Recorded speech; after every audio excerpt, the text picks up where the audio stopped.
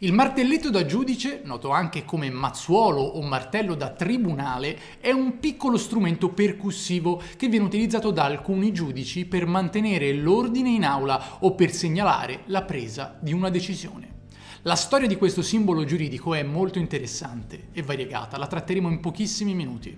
Le origini esatte del martelletto da giudice sono incerte, ma si ritiene che sia emerso nel Regno Unito o negli Stati Uniti in un'epoca moderna. Non c'è una lunga storia documentata del suo uso, a differenza di altre tradizioni legali. Curiosamente, nel Regno Unito tradizionalmente i giudici non usano martelletti.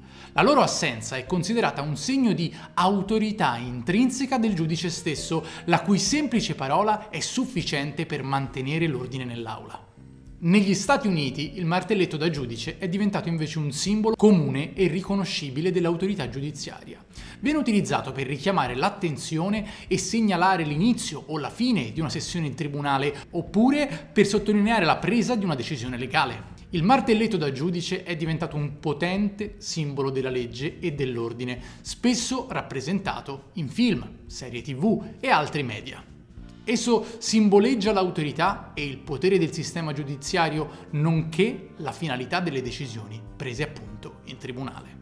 Mentre il martelletto è comunemente associato al sistema giudiziario statunitense, è stato adottato anche in altri paesi, spesso influenzati dalla rappresentazione mediatica proprio americana.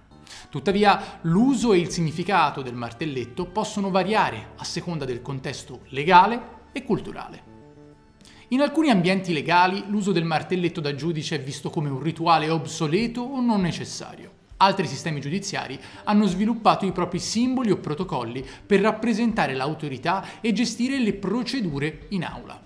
In sintesi, il martelletto da giudice è un simbolo relativamente moderno che ha assunto un significato culturale e simbolico molto molto importante, rappresentando l'autorità e la solennità del sistema giudiziario, soprattutto nell'immaginario collettivo influenzato dai media. Al prossimo Focus!